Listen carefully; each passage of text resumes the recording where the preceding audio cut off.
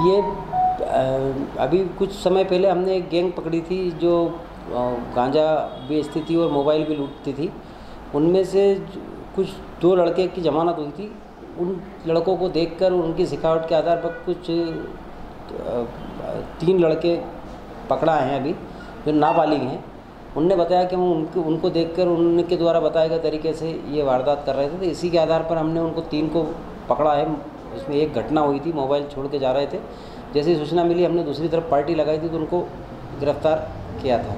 अब जैसे ही उनको गिरफ़्तार किया पूछताछ की तो तीन नाबालिग अरेस्ट किए और उनको जो मदद करने वाले थे दो लोग उनको भी पकड़ा है।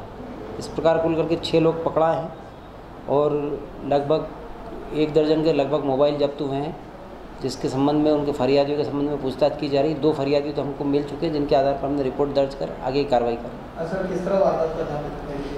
ये जहाँ पर ऐसे स्थान देखते थे कि जहाँ स्कूल, कॉलेज या हॉस्टल्स हैं, या जहाँ अकेले कोई काम के लिए बस स्टाफ पे उतर कर आता जाता है तो उस पे जगह पीछा करते थे, पहले रेकी करते थे, फिर मोबाइल उससे वो बात करता है ऐसे जाता है तो पीछे से मोटरसाइकिल से जाकर मोबाइल हाथ में से लेकर एकदम भाग जाते और पकड़ नहीं पाते थे। हाँ इनके संबंध में इनसे पूछताछ की जा रही है अभी।